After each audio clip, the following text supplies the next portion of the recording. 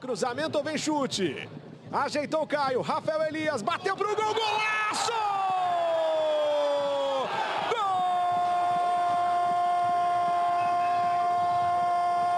Golaço!